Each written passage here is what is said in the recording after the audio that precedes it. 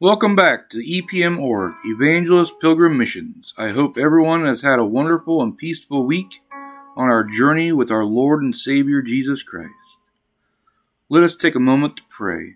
Heavenly Father, we are gathered here today to worship your everlasting love, a love so strong that you gave your only begotten Son for our sins. Lord Jesus, watch over our family, our church family, our friends, our community, our great state, our country, and the planet that you created, Lord. Be in our presence today, Lord, and touch someone's heart, Lord, that is in desperate need to feel your healing touch and presence today.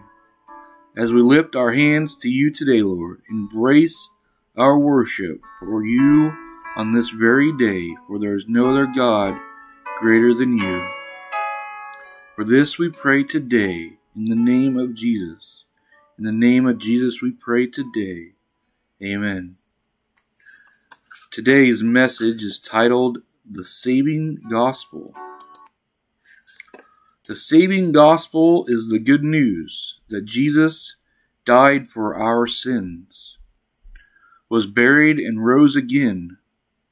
We obey the gospel by repentance, death to sin, water baptism in the name of Jesus Christ's burial, and the baptism of the Holy Spirit with the initiate sign of speaking in tongues as the Spirit gives us utterance in resurrection.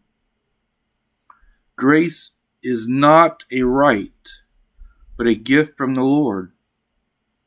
In 1 Peter chapter 4 verse 17, for the time is come that judgment must begin at the house of God. And if it first begins at us, what shall the end be of those that obey not the gospel of God? If God didn't forgive sinners, heaven wouldn't would be empty. Jesus remembered a church or just remember a church is a hospital for the sinners, not a museum for the saints. In 1 Corinthians chapter 15 verse 1 through 4, Moreover, brethren, I declare unto you the gospel which I preached unto you, which also ye have received, and wherein ye stand by which also ye have are saved, if ye keep in memory that I preached unto you, unless ye have been believed in vain. For I decided or delivered unto you first of all that which I also received, how that Christ died for our sins according to the Scripture and that he was buried, and that he rose again the third day according to Scripture.